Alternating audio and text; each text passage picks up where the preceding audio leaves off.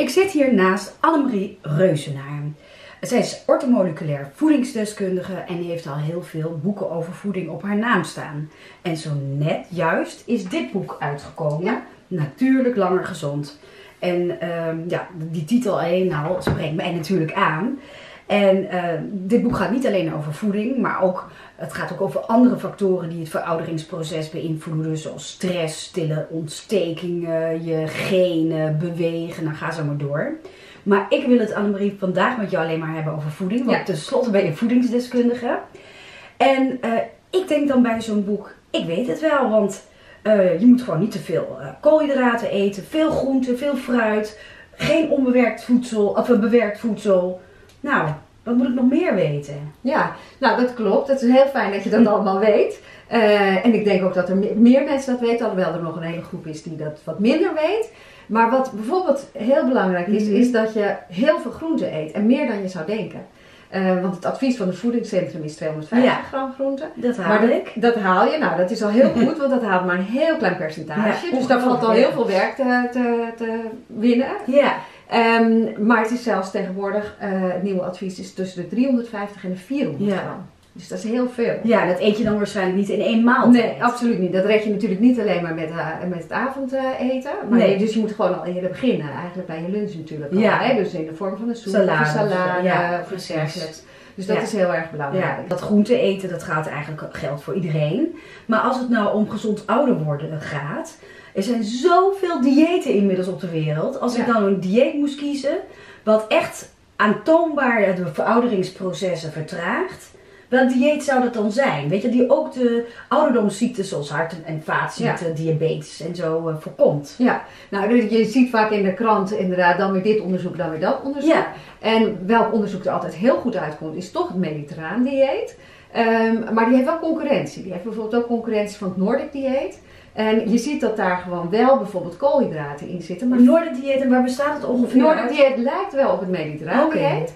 Eh, maar ze gebruiken meer eh, rogge en meer haver eh, en meer knollen. En ze gebruiken minder olijfolie, maar meer lijnzaadolie of Oh. Maar wel dus, maar eh, in grote lijnen is het natuurlijk ook gewoon onbewerkt en, en vers. Ehm, maar je hebt ook het oerdieet, daar is onderzoek naar gedaan. En daar blijkt dus dat inderdaad cholesterolwaarden veel beter zijn, triglyceridewaarden heel veel beter. Eh, dus dat heeft ook goede papieren. Ja. En dan is er pas ook nog een onderzoek uit Bolivia eh, van mensen die daar leven. Nou, en die gebruiken juist heel veel koolhydraten. Natuurlijk wel de ongeraffineerde koolhydraten, hè, de complexe koolhydraten. Ja. Maar eh, die hebben dus de gezo- gezondste bloedvaten van de hele wereld. Terwijl die juist heel veel koolhydraten Heel veel eten, koolhydraten. maar altijd die eh, niet. Volwaardige, Ja, ja, volwaardige. precies. Zoals Ja. ook, eh, wat heb je, zoete aardappel. Zoete aardappel, knol, selderij, ja, ja, Ja. daten, eh, Ja. dat, dat soort eh, knollen, die, die gebruiken ze Ja, eh, allemaal. En volle graan en dat soort dingen. Ja, precies. Dus eigenlijk kan je zeggen van ehm, er zit gewoon de overlap die erin zit, is dat het op heel veel planten gebaseerd is. En eh, het is natuurlijk inderdaad allemaal onbewerkt, dat hebben ze gemeenschappelijk. Ja. Maar je moet je een beetje voorstellen dat het ook heel persoonlijk kan zijn. Heb je nou een probleem met je bloedsuikerspiegel? De Mhm. ene heeft dat gewoon wat sneller dan de ander. Nou, dan is inderdaad koolhydraatarm voor jou, beperkt, ja. is dan voor jou geschikt. Maar het kan zijn voor iemand anders dat hij het gewoon goed doet op meer koolhydraten, Ja. ook al zijn ze ongeraffineerd. Dus het is duidelijk dat wij natuurlijk altijd gewoon toch in Nederland te veel brood eten. Ja.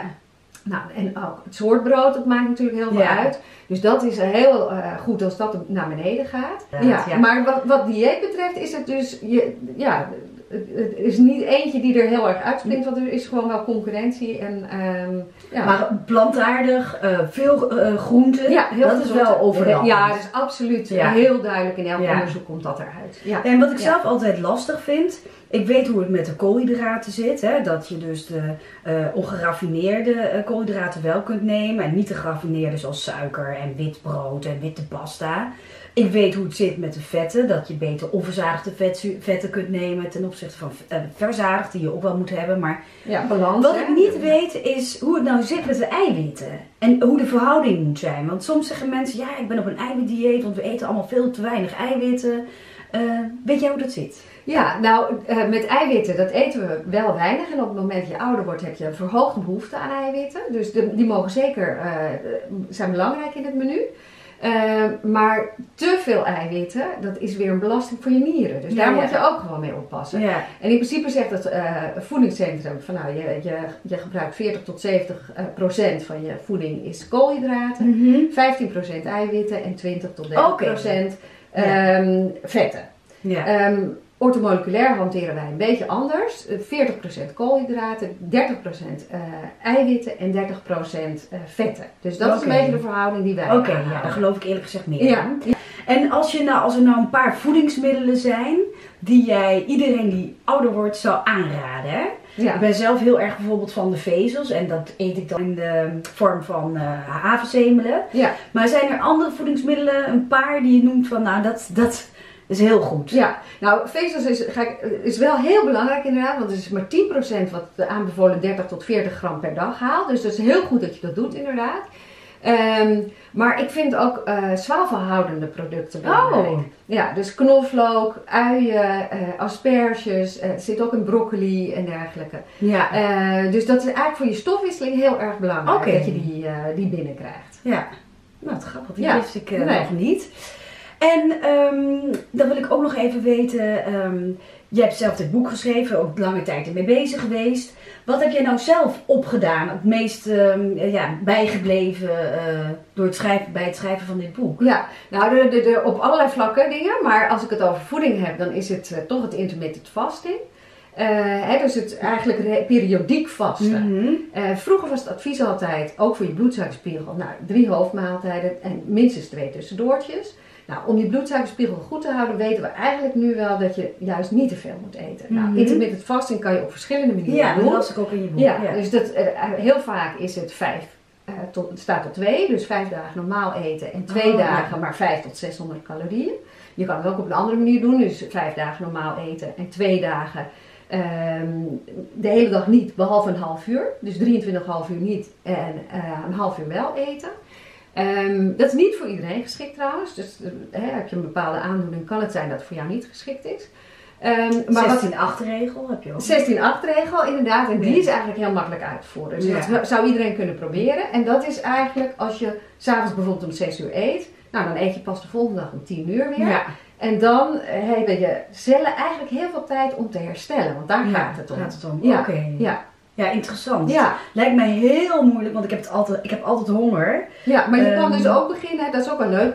eh, gewoon probeer eens drie maaltijden per dag. Dus niks tussendoor. Ja, oké, ja, dat haal ik denk ik nog wel. Maar, Ja, en, en nog één aanvulling, want het is eh, even buiten het vasten. Ehm, eigenlijk noem ik dat ook in mijn boek overvoer je niet. Nee. Eh, en hè, dus het volgt de 80% regel. Ja, de haren dus- Ja, de om haren gaat. had je boe inderdaad. Ja. Ik vind jouw boek ook leuk en er staan ontzettend handige recepten in, want dat is nou het fijne hier weer van. Je hoeft er zelf niet over na te denken. Als je de recepten volgt, dan ben je gezond bezig. Dankjewel Annemarie.